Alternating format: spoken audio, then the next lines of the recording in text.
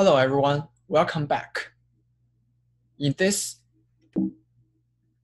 this is Hua Zheng, and in this section, I'm going to cover ethical consideration for of exploration. Ethical consideration is an important topic and received a lot of attention by the machine learning community. Many researchers have many researchers have studied how to uh, how to consider or reflect the ethical concerns in offline machine learning method. And in this tutorial, we will cover the recent advances in ethical considerations of exploration strategies, which include three main topics. The first topic is the privacy concerns in bandits. We will cover the notion of differential privacy and how to design differentially private versions of stochastic and linear bandits. We will also discuss the recent advances in using the local differential privacy notions in bandits. The second topic we will cover is fairness concerns in bandits learning. Here we will adopt the notion of weakly meritocratic fairness and present a work called Fair UCB under this notion. There are there is also another line of research regarding safety concerns in bandits that is how to design exploration strategies under certain safety constraints. In this line of research, there are mainly two type of work, two types of works. The first type is where the constraints is over the regret. That is, the exploration strategies should not make the regret lower than a certain threshold, larger than a certain threshold, this is also known as the conservative exploration study. Another line is called is studies how to design exploration strategies with other uh, side constraints. So we will not cover the details of safety concerns in bandits due to time limitations. And first, let's look at privacy concerns. So privacy concerns has been raised early, uh, early at least during 2006, where the during the release of AOL search log. So this is an article regarding a face is exposed is exposed for AOL searcher. And also in 2008, there is a work regarding how to break the anonymity of the Netflix prize datasets. And privacy concerns is still a very important topic in today's machine learning community.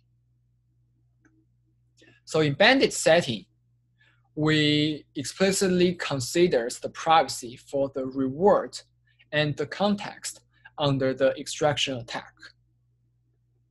The main philosophy is we need to design exploration strategy that reconciles both the need of learning and the need for privacy protection.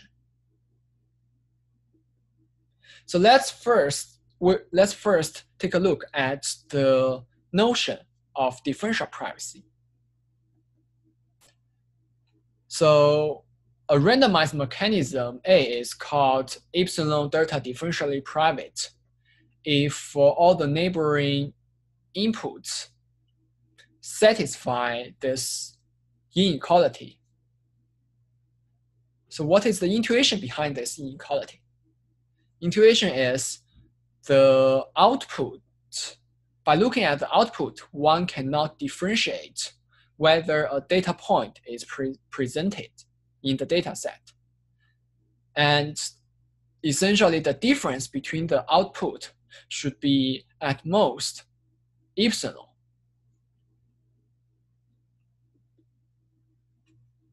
Since we are working with bandit setting, here is some background regarding differential privacy for continual observations. In this problem setting, we are dealing with a data stream which has t examples, for example, rewards, Ri, data belongs to the range 0 to 1.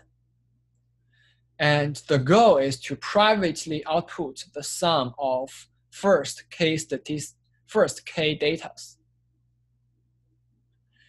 The main strategy to design efficient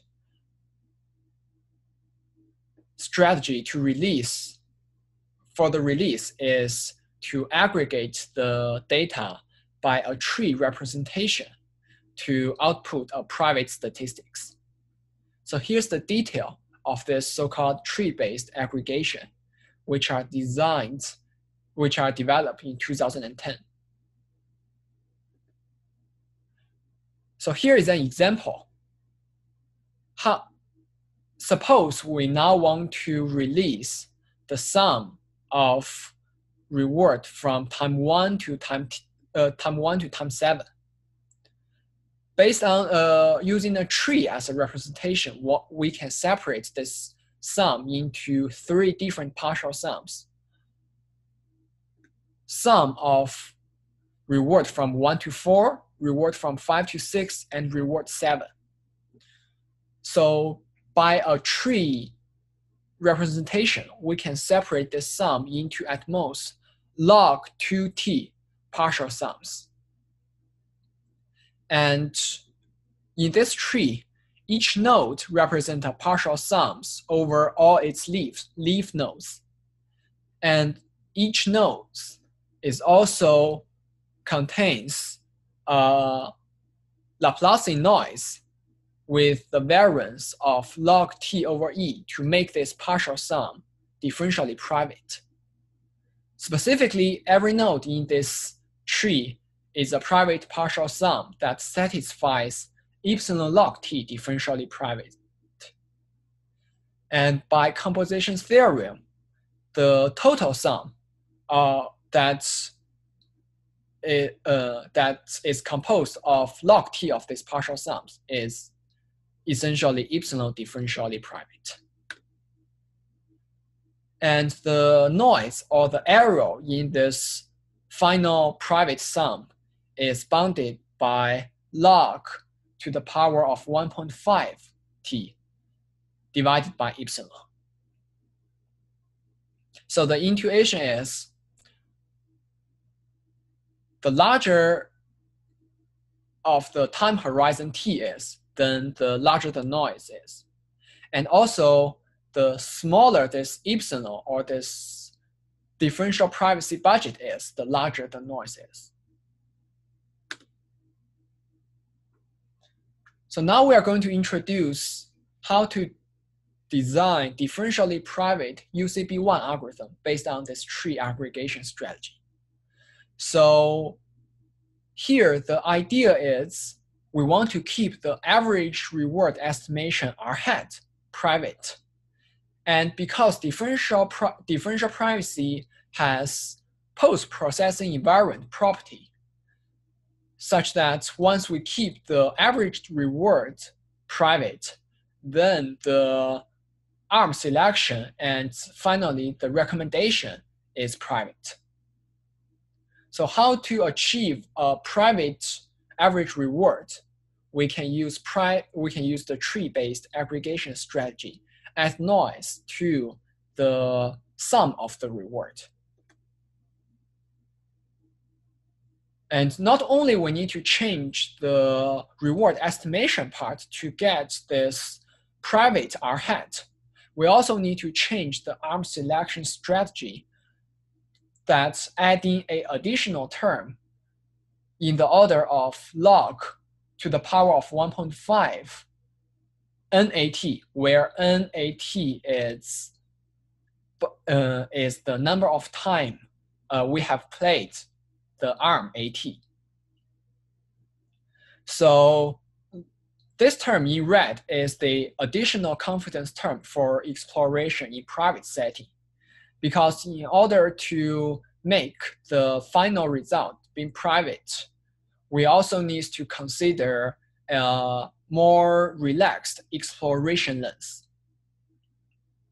And the final regret of this differentially private UCB1 algorithm is in the order of k log square t over epsilon delta, where delta is the gap between the best arm and the second best arm, and epsilon is the privacy budget. So comparing to the original non-private UCB1 algorithm, we see that first is the order is increased from the log t to the log square t, and also it's related to the privacy level epsilon.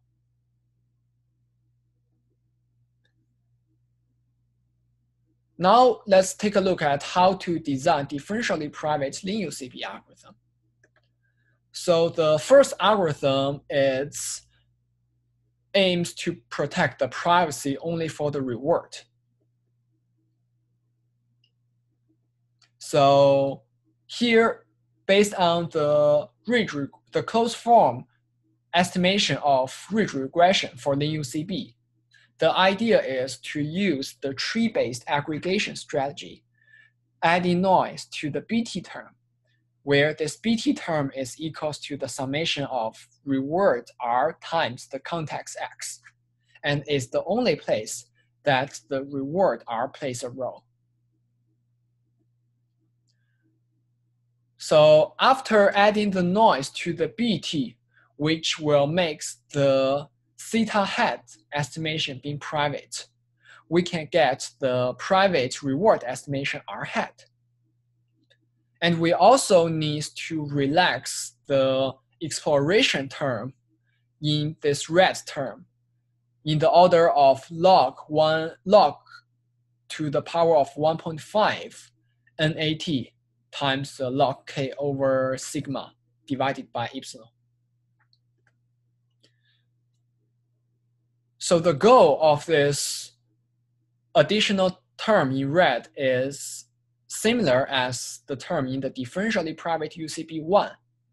That is, we need to relax the exploration term in order to make the arm selection strategy also differentially private. And the regret of private LinUCB is in this term, where the first term, k square root of t log t, is the original regret of non-private LinUCB. And this red term is the additional regret caused by the privacy protection for the UCB. Note that this term is in the order of log to the power of 2.5 t and square root of times square root of t divided by epsilon.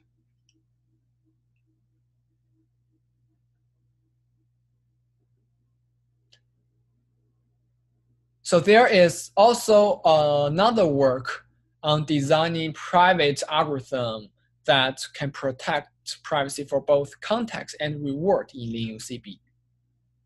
So here, the idea is to use the tree-based aggregation to add noise to both AT and BT term because BT, ha BT term has the reward and context X, and AT term has the context X. And now the confidence bound term has also be uh, also needs to be changed accordingly to make it differentially private. And here is the corresponding re regret. Note that the regret presented here is a gap dependent bound. So that's why it's in the order of log t.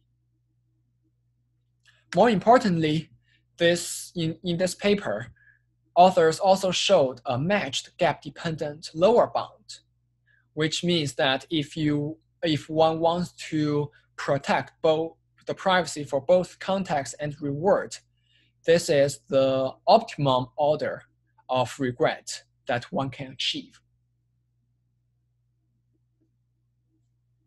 So previously we discussed the private algorithm under the notion of differential privacy, or also known as global differential privacy, where the, the pattern is like this.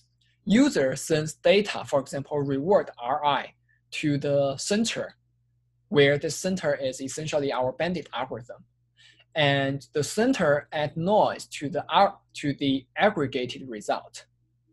However, one may have the concerns that the data communication or even the center itself can be compromised and can thus cannot be trusted. So here comes the notion, here motivates the development of notion of local differential privacy, where we want the data to be randomized on the user side before sent to the aggregator. So in this case, user will no longer send their ground truth, uh, truth reward RI. Instead, they, the user will first randomize the reward and then send it outside. So generally, L, local differential privacy, or LDP in short, is a stronger privacy definition. Uh, and in this case, larger cost or larger regret is also expected. So, very, so this is a very recent work on UCB algorithm with local differential privacy.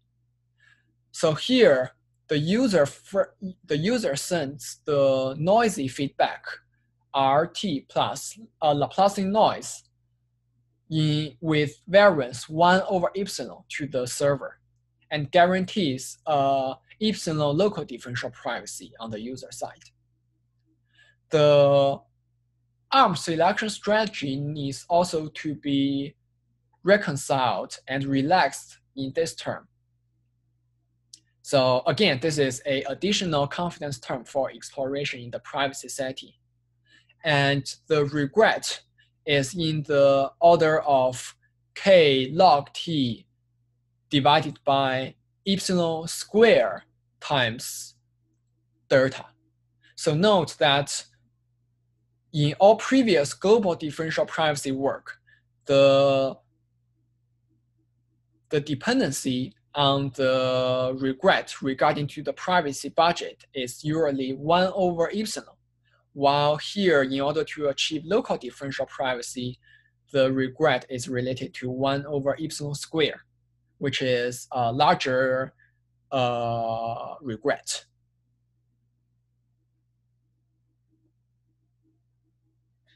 So the second topic regarding the ethical concerns is the fairness consideration. So fairness consideration, fairness in machine learning con considers the machine bias and is also an important topic in, for machine learning communities. Researchers, uh, research focused on bias in either the data, model, algorithm, etc. For example, the discriminatory treatment of subpopulations. And the bias in these machine learning models actually also motivates the needs to do a more unbiased exploration for a machine learning system. Specifically, we in this tutorial, we studied the fairness guarantee during the online decision-making problems, or essentially bandit setting. And we focus on the notion of weakly meritocratic fairness so in this definition, we want a algorithm to pull uh, arm A uh, has a higher probability to pull arm A over the probability to pull arm B when the true reward of arm A is better than arm B. Intuitively, this means a bandit algorithm should never favor a worse arm at any round. So two examples here. First is the perfect strategy is actually fair. So when we say perfect strategy, it means that the, the algorithm will always with 100% probability to pull the best arm. However, this is not practical because we don't know which arm is perfect at the beginning before we start the exploration. The uniform strategy is uniformly random strategy is also fair. If we keep uniformly pull all the arms, then we have a fair algorithm, but the regret of this algorithm is linear. So the idea is, can we design an algorithm that achieves somewhere in between? And now we present this fair UCB algorithm. The idea is we want to still uniformly pull algorithm that are reasonably good. The reasonably good is defined by the first confidence interval chain. So how to find this confidence interval chain? So we start from the arm with the largest UCB and recursively finding the arms with overlapped confidence intervals.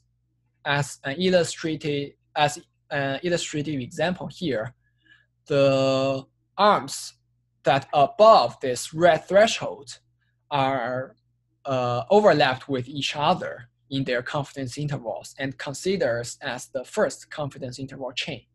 So the algorithm will uniformly pull arms within these confidence intervals, but won't pick any arms that belows this threshold. So this can guarantees we achieve the fairness guarantee at every step with high probability while also maintaining a reasonably good utility guarantee because the arms within the first confidence interval chain should have reason, reasonably good uh, reward. And the regret of the algorithm is in the order of square root of k cubic t log e tk over delta. So which is slightly worse than the uh, than the original version of the UC, uh, sorry, original version of UCB1 algorithm. So to summarize, here are some open questions that uh, one can explore in the ethical considerations for exploration. The first is the regret lower bound for bandit with privacy guarantee. So currently we are still unknown about what is the minimum noise and regret to achieve general epsilon differential privacy or epsilon local differential privacy for stochastic and uh, linear bandit problems. Another direction is how to calibrate the fairness and privacy with problem-dependent structures. For example, can we reduce the noise needed in collaborative bandits learning or in a low rank structure problem. And also how to do more efficient and design corresponding exploration strategy for a fair collaborative bandits or fair low rank bandit problem. The third direction is how to uh, is to consider other fairness definition for exploration. Here are the references to this section. Thank you.